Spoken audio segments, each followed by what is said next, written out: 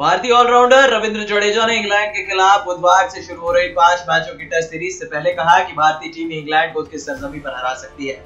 आत्मविश्वास से भरे जडेजा ने कहा कि भारतीय टीम में अच्छी बात यह है कि हमारे पास कई विकल्प हैं। ज़्यादातर अंतर्राष्ट्रीय टीमों में किसी खिलाड़ी के संन्यास के बाद इतने विकल्प नहीं होते हैं।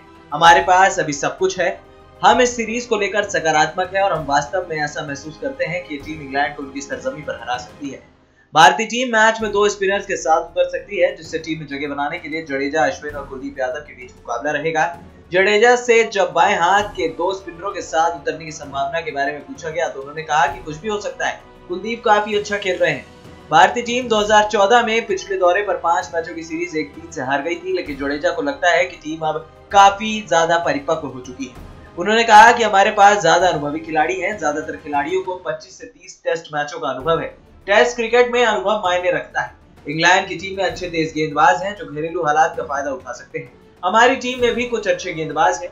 2014 के दौरे पर हमारे पास अनुभव की कमी थी। हमें यह नहीं पता था कि पिच कैसी होगी और मौसम से कैसे निपटना है। अब हम हालात से वाकिफ हैं और टेस्ट क्रिकेट का अनुभव भी है। Next nine sports desk report Start your career with us.